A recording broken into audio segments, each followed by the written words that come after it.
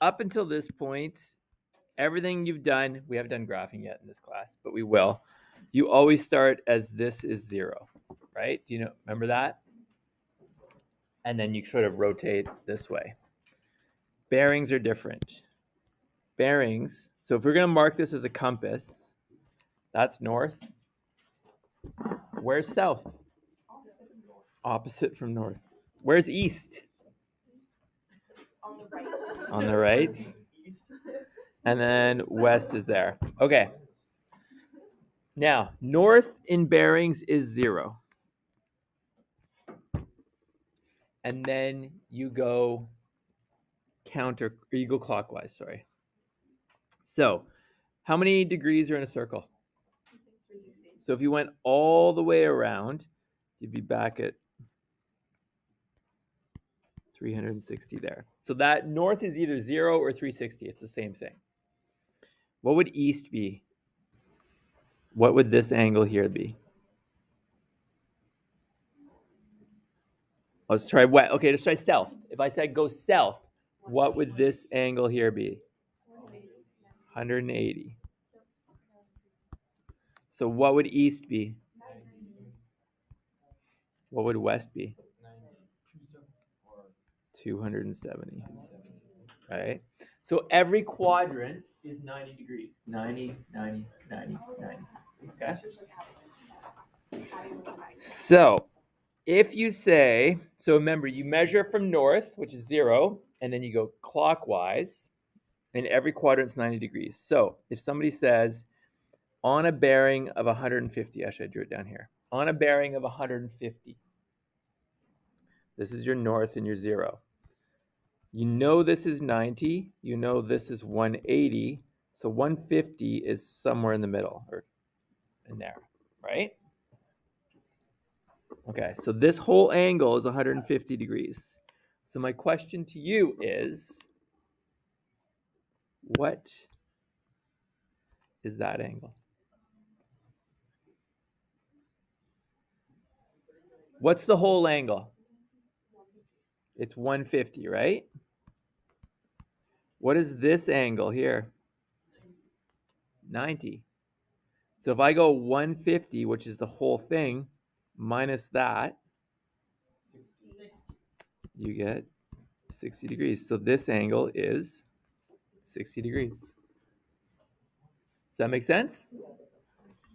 All right.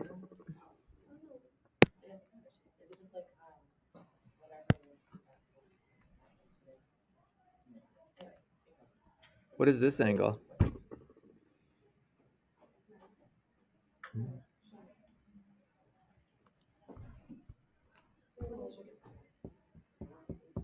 No, from this arm, from here to there. What is that angle?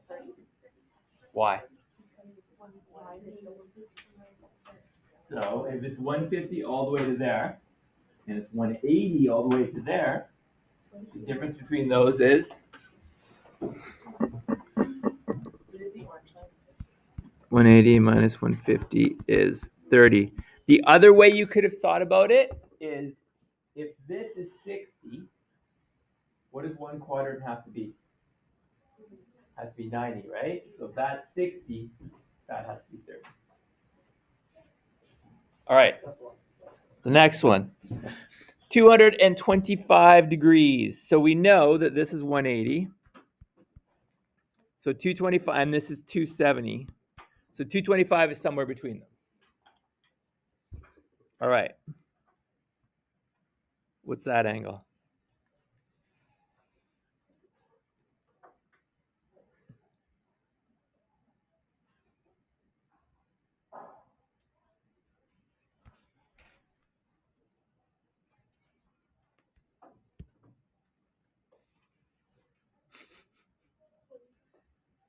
How do you get that?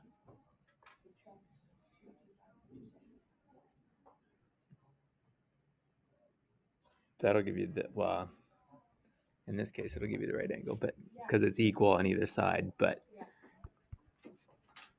225 minus that 180 should give you that angle there, which is 45 degrees. because it's divided in half. Yeah. But if you did it 270 minus that on any other angle, you'd get it wrong. Yeah. You minus this. You minus the 180. Minus this bit. The part you know, you take away from it, and that gives you the unknown part. All right. Okay. 330 degrees. You've gone all the way past 270, but you haven't quite made it to 360, which is there. What's that angle?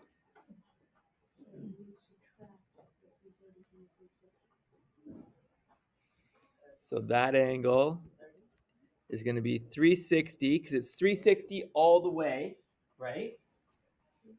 But I want to take away all this because that'll leave me this bit. 360 minus 330 is 30 degrees. And then if that is 30, this has to be 60 degrees. All right. This is not about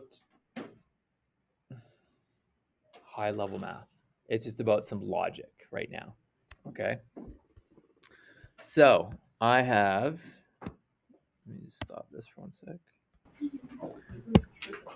All right, on the sheet I just gave you, they want you to draw the angle, the bearing. So, where do we always start from?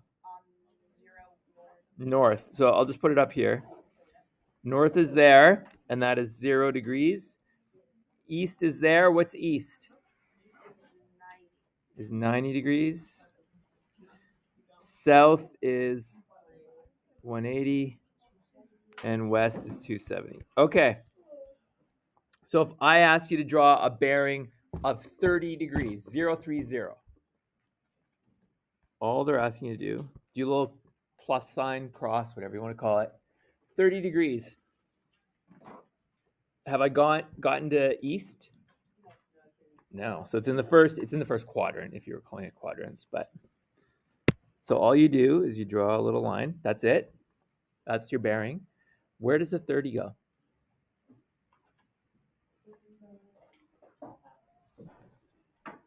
Right there.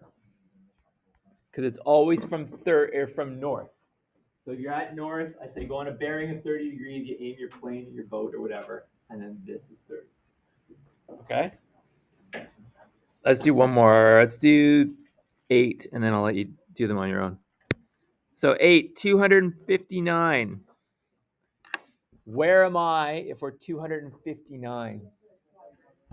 Third quadrant. So down here, between west and south. So just draw it in the middle. I don't really care if you draw it in the middle. Now, where is the 259?